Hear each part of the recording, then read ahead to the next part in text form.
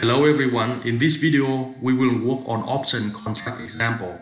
First of all, let's look at currency call option.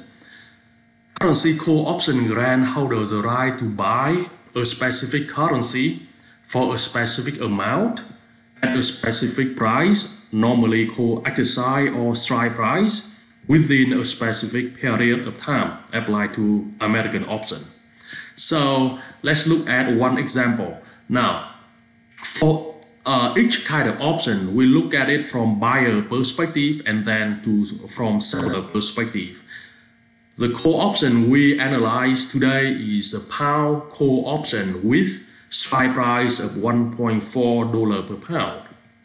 Premium $0.012 per pound. The size of the contract is 31,250 pound. So with this specification, if you want to own the contract, first of all, you have to pay premium, okay? Once you pay the premium, you are the owner of the contract and you have the right to buy how at this exercise price. So in this table, we will analyze the profit or loss of the buyer under different scenario for spot rate at the expiration date. Now, for the option holder, American option holder, you can exercise anytime you want. However, for simplicity, we are assuming that the buyer hold the contract until the expiration date, and then at that date, they look to the market and find what is the spot rate, and then make the decision accordingly. Okay. So before doing the math, I want to remind you a few things. First of all, for buyer, premium is always cost, is always outflow, okay? Second, you have to answer the question, will the option be exercised? Now, that one is critical because if it is exercised, profit or loss will be calculated one way. If it is not exercised, we use a different way, okay? After that now you are willing to you are able to do the math. So let me exit and work on the number right here for you. In the first scenario at the expiration date price turned out to be uh, 1.2 dollar per pound. So here's the first point premium for buyer is always the cost. So the cost in this case is negative 0.012 dollar per unit, right? Here per unit. Now, to continue, we have to answer the question, will the option be exercised? So think about that. The holder of the call option has the right to buy how for 1.4 dollar, right? In the market, pound worth only 1.2. So, do you want to exercise the option and pay 1.4? Clearly no, right? So in this case, you will not exercise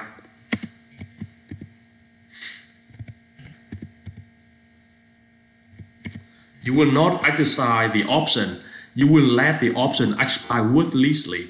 So basically, per pound, you lost 0.012 dollar. If you want to find the total cost for the whole contract, what should you do? Very simple, right? You take the cost per unit and multiply with the size of the contract, which is 31,250. Yes, you can easily get the total loss, right? Now, a second scenario. What if pound worth 1.4 dollar at the expiration date? So, or as always, the total, I mean the premium for buyer is a cost, right? In this case, the cost or the flow is negative 0.012. Now, let's look at that. Do you exercise or not? Okay. The market price and the exercise price is the same. So basically, exercise or not exercise give you no uh, benefit at all, right? So it means that the total loss to you is the, the premium. And clearly, for the whole contract, the same thing happened. Here is, is the total loss. Okay. Now, let's look at the third situation before we, I mean the last one before we do the third. What if What if at the expiration date, the value of a pound turned out to be 1.450? Now, you have in your pocket a contract that allow you to buy power for only 1.4. So clearly you see that you can, according to the option contract, you can pay you can pay a lower price than the market, right? 1.4 instead of 1.450. Right?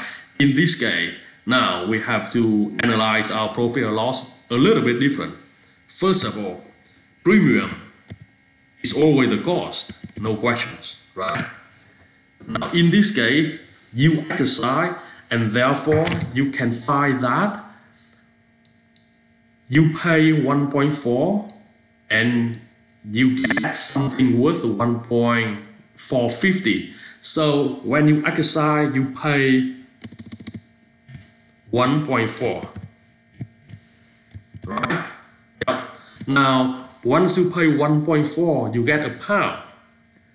You can imagine that you can sell this pound in and you get back 1.450 and therefore the 1.450 will be your kind of revenue, right? So in this case, when you add those three numbers up, clearly you will get uh, what the total profit or loss in that situation. Okay, so let me do the math here very quick for us to see.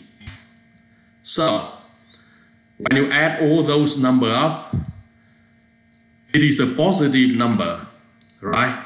The positive number means that it is a profit of 0.038. So here it is 0.038. Yep. Okay, so now you can take this number and multiply with the size of the contract and you can get the total cost, I mean total profit in that situation. Okay. Think about that. Here is you make money. Okay. Now, you may think, hey, for a pound, I only get like a 3.8 cents. Is that so small? It's not at all. Look at that, how much you invest. Think about that.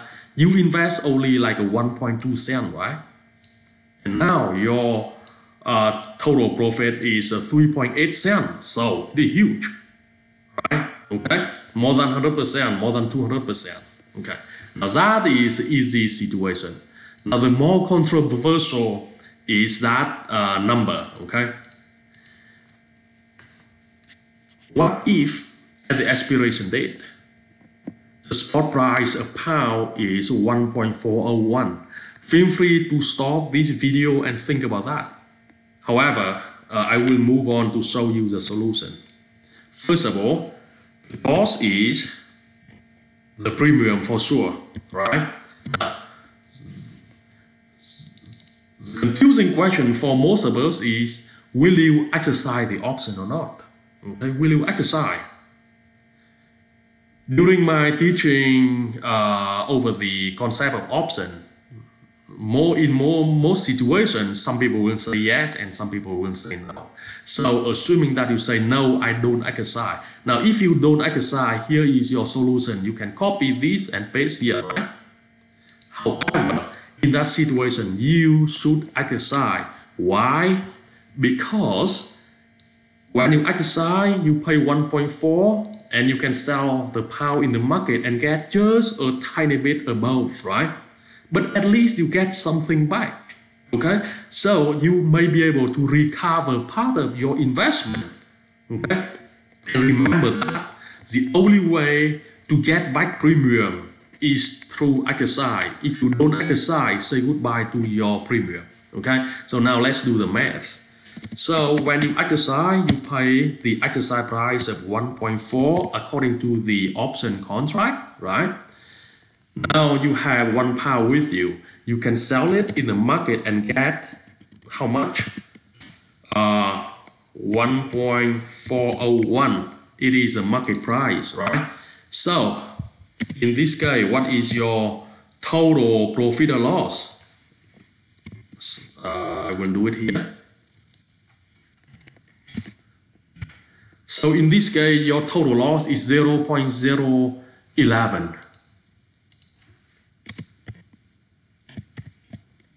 Now, first of all, it is still a loss, right? However, you can see that if you don't exercise, here is your total loss, 12. And now you exercise, you get back a little bit and your total loss drop a little bit. Now it is 0.011 and clearly you can do, uh, I mean, you can multiply the unit loss with the size of the contract and you can get the total cost I mean the total loss for you okay? Mm-hmm. So you can do the math easily okay? So that's all for now